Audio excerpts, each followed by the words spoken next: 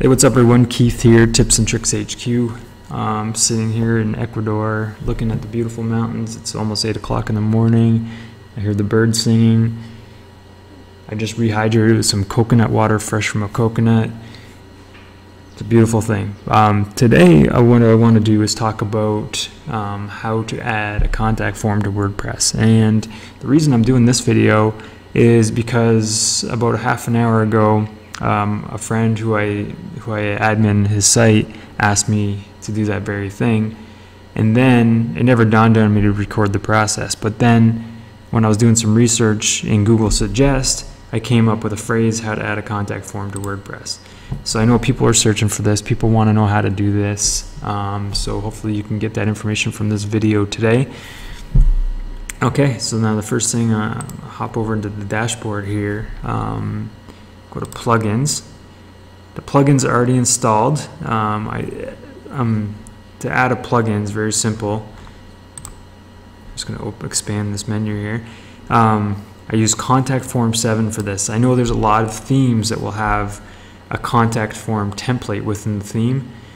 Um, personally, I like to use plugins and I um, to do that type of functionality, and I leave the aesthetics to the theme. So in this case, we're using Contact Form 7, the plugin, to create the, the contact form. So to add a plugin, you just go to Plugins, Add New. You can download the plugin from contactform7.com or it's available in the WordPress.org repository. You can actually just type in Contact Form 7 and find it here. And you can download and you just click install now under contact form 7, activate it, it'll download, then you activate it, then you have it in place.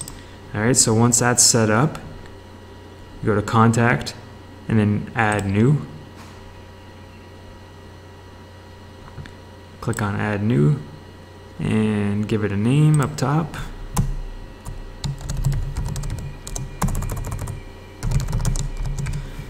All right, then you specify, this, I'm just gonna keep this very basic, this tutorial. There's the, the basics in here. You're, it's gonna ask the person for their name, email, subject, and message. And then there's gonna be a send button. You can define the fields. I'm not gonna get into that in this video.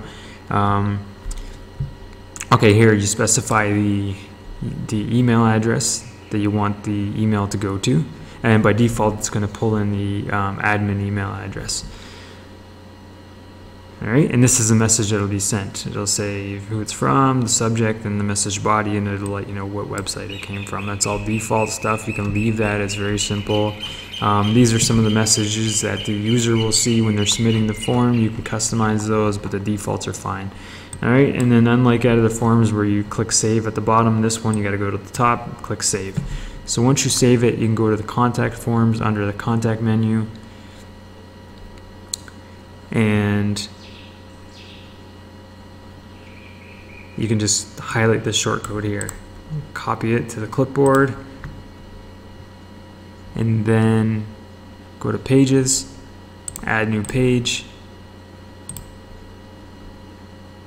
give it a name,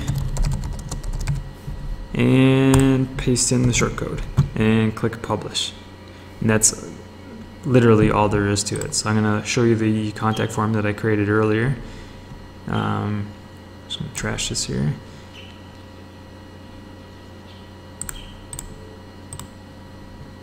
There it is, shows up, says your name, your email, subject, and message. And that's it. Very simple contact form plugin. Um, the, the, the look and the feel of your form will be different based on your theme, but that's it in a nutshell how you add a contact form to WordPress.